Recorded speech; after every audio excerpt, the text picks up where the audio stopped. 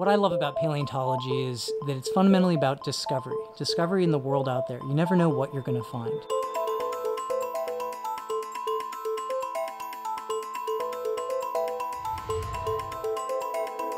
For the site in Chile, we just happened to be at the right place at the right time. We heard about this unusual site called Cerro Ballena many times before, and one of our colleagues brought it to our attention because it was being exposed by a road construction company. What we're talking about is a site that's about three football fields in size, covered with the skeletons of fossil whales. The skeletons were exposed right next to the Pan American Highway, so there's 18 wheelers, large road equipment going by all the time, creating vibrations that can actually damage and destroy the fossils. Our job is to preserve as much information as possible, and we had precious little time to document anything scientifically relevant about how those skeletons came to rest.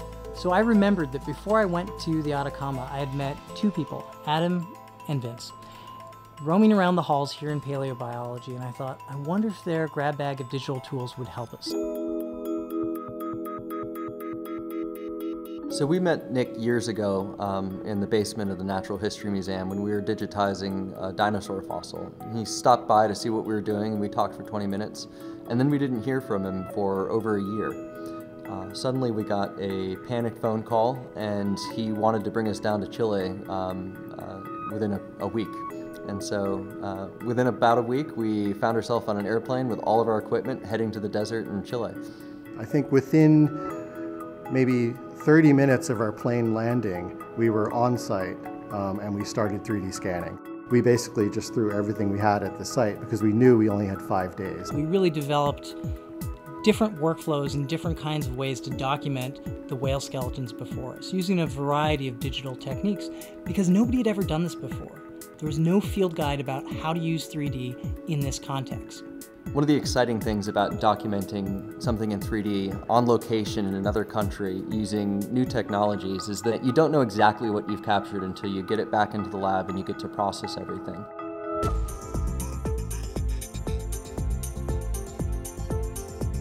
Now that we've scanned the site, we can actually bring that site back.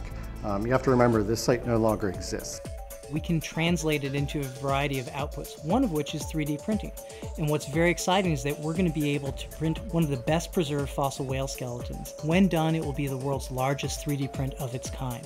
When you've documented something in 3D as thoroughly as we have, the cool thing is that we might have the information to questions that scientists haven't yet had the opportunity to ask. So taking Adam and Vince down to Chile was a bit of a leap of faith but that hunch proved to be correct, I think, in the long run, because what they've done is shown me what 3D can really do under the right circumstances, in the right context, with the right need case. With Cerro Ballena, it was clearly the right thing to do.